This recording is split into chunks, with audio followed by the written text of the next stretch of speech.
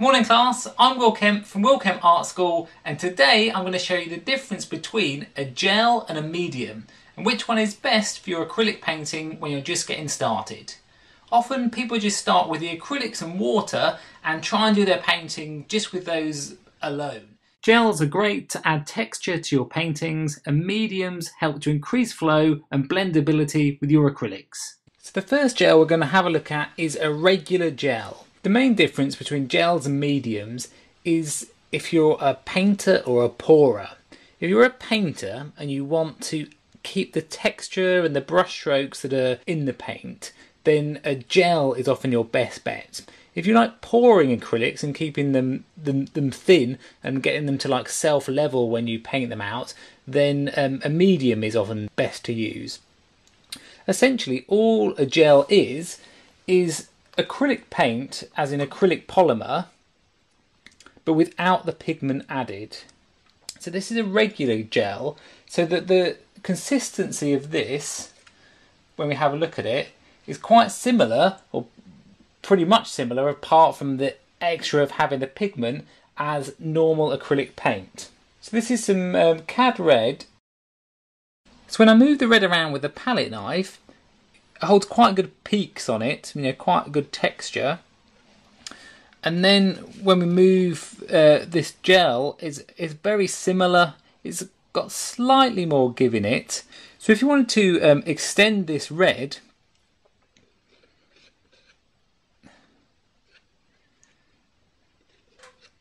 you can just mix the gel into it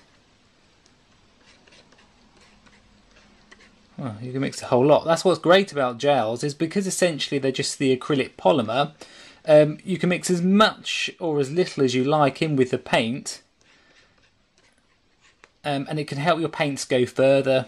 So that if you're working on, say, an underpainting, I might add, you know, some binder to it and then paint with this just to block in the colour, but then wait until I'm really sure of the colour before going in with the artist quality paint on top of that. So if you want the paint to go further but still keep this consistency, you can just add regular gel to it. Um, the thing that you'll notice when you look at a label on the gel is it said regular gel and then in brackets it will say semi-gloss. Now this one is an extra heavy gel, and you see how this has matte in brackets.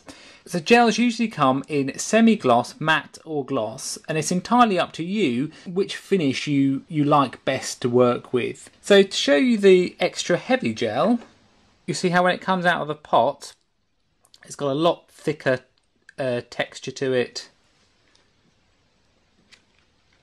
So say that you wanted to build up the texture in the foreground of a painting, you know, you can mix a bit of pigment in with it. You see how it appears to uh, make it paler because of course the medium is white. When it dries off it goes clear so it's not as noticeable. So if I wanted to create texture, you know, in the front of a painting, you know, I could use this extra thick gel and then that would dry off and I can paint on top of that and I've used a, very minimal amount of pigment really in comparison to if I use that with pure CAD red which is of course a very expensive pigment. This is Will Kemp from Will Kemp Art School.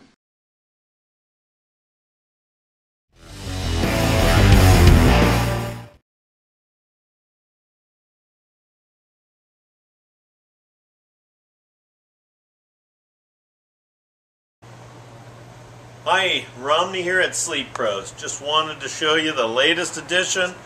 My newest child is a spinal care mattress. This particular baby has uh, pocketed coils throughout, individually wrapped coils. You got the bamboo top, got an inch of memory foam, completely foam encased, very solid edge, and this bed is kind of la creme de la creme. It's really a solid, solid bed. Has a nice, soft feel on the top, but not so soft that you're going to feel like the body impressions are going to take over.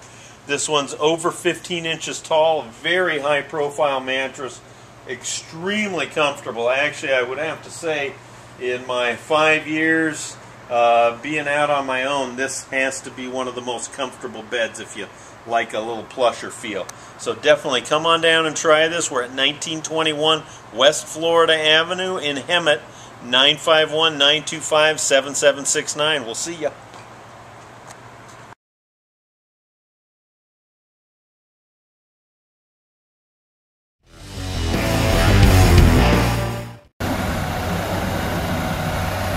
Oh yeah, 98 Ford Ranger, 2.5 motor, 8 spark plugs. Running sweet, very well taken care of. As you can hear, very good. Everything intact. Everything running real good.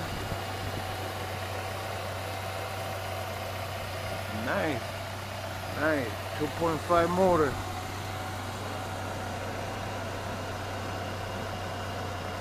Yeah. That's right. 2.5 motor. Ford Ranger. Look at that baby. Solid. Nice.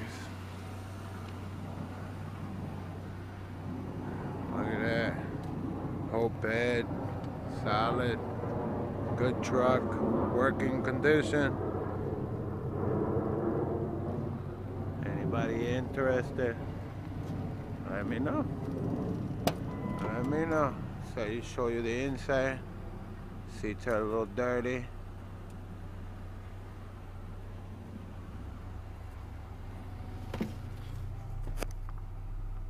Motor's running good. No check engine. Everything works. Heat.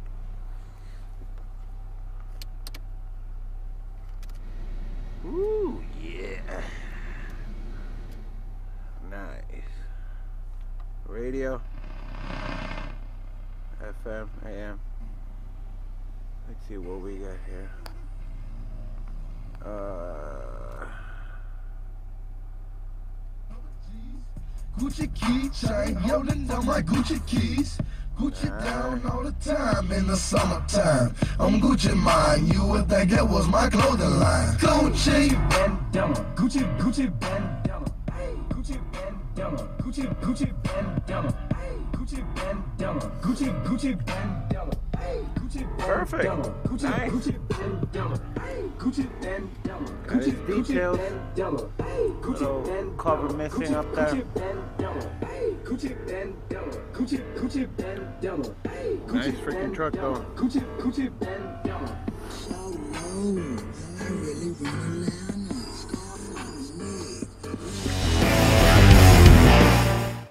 In case you missed it on Instagram, rude, Aida and I just got back from Miami together and we had the best time, minus the fact that we were not 100% ready for bikini season. It was an embarrassment for us, for our families, for our nation. True.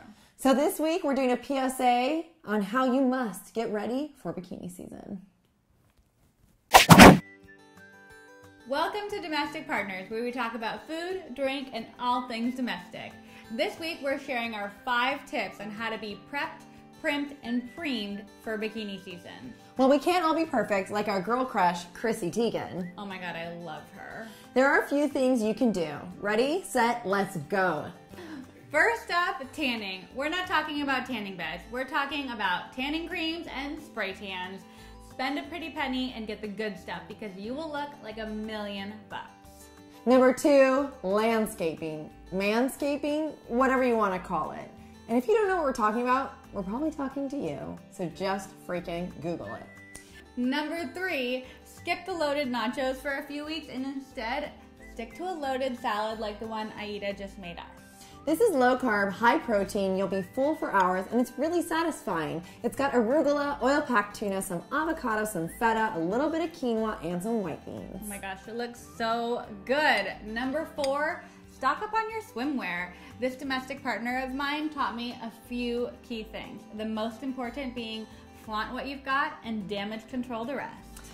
Two hard earned summers working in a bikini shop taught me that gem. And when all else fails, number five is to accessorize. The right beach hat, a good pair of sunglasses, they can take care of a lot. And don't forget about a good sarong, it will cover almost all damage. And also, you can just pretend that you're looking like Sophia Loren or some Jackie O for the weekend. This week's Food for Thought is brought to you by Bikini Season. Bikini Season is right around the corner. Sadly, Baskin Robbins is closer. Sorry about it. Thanks for tuning in to this week's Domestic Partners. Be sure to subscribe below to check out new episodes. And if you're really serious about bikini season, check out our video on juicing and smoothies because we have two amazing recipes to add to your arsenal. See you next week.